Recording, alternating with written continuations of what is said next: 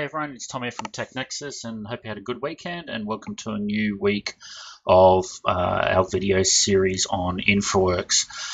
I'd originally thought that I was going to do InfraWorks for one week, but it looks like um, I think that there's just going to be a lot of content. Um, so it's basically going to be an InfraWorks fortnight. So uh, I got to the stage of showing you bridges uh, last week, but I wanted to have a play around with the roads uh, a little bit more and just go through some of the options and some of the things that you can do with, with the roads. So we're going to just place another component road, um, and I'm just going to go back to one of the normal um, assemblies. So let's look at this component right here, a four lane divided with a sloped asphalt median. So I'm going to put it in here. And then what I'm going to do is also put the same road style across it.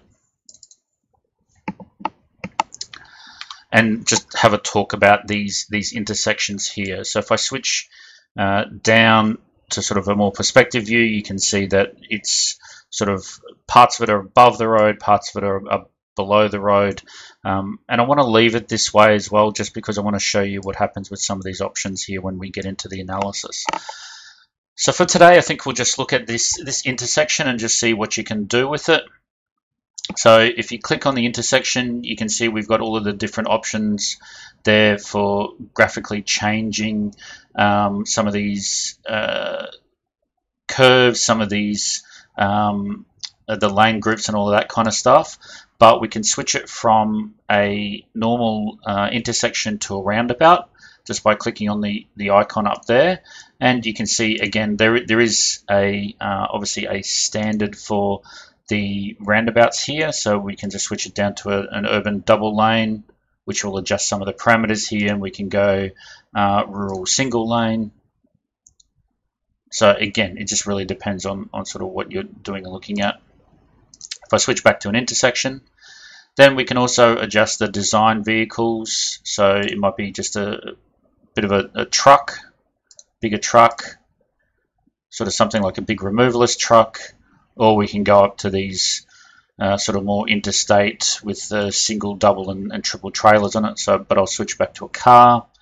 Um, we can adjust also where these um, these uh, lines or these standards. So you can see I can extend um, into the intersection, or I can have the yield line on or off, um, depending on on what you want to do in here as well. But over here, I can adjust what these arrows look like as well. So I can say that this intersection is never going to be turning right into that lane. So I'm just going to make it straight.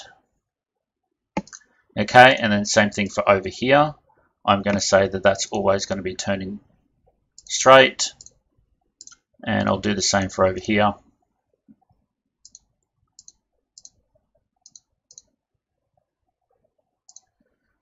Okay, so this will also affect um, things like in, inside your traffic analysis as well. Okay, so we can also adjust the widening values down here. So if I want to put in, throw an extra lane in there, then I can obviously just go through and adjust any of these transition pieces. I can increase or decrease the lanes. Uh, again, you've got you've got a, a bit of sort of options in there how to how to play with all of that. What I can also do is, and I just wanted to show this quickly really today as well, is the sight distance.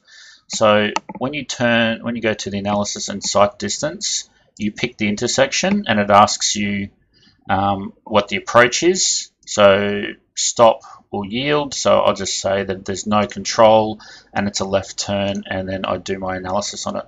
So this is saying that we're coming forward on road 6 and turning left and the sight is clear.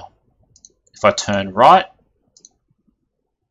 then we can see that there's sight failure. So when the person gets down to this intersection here, that this, you can see this part of the surface here, the terrain is in that person's view.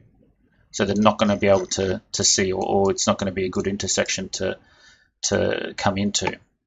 And if we go do it as a crossing, again, there's going to be sight issues there as well. So let's look at um, Ford on road 7 and do the same analysis.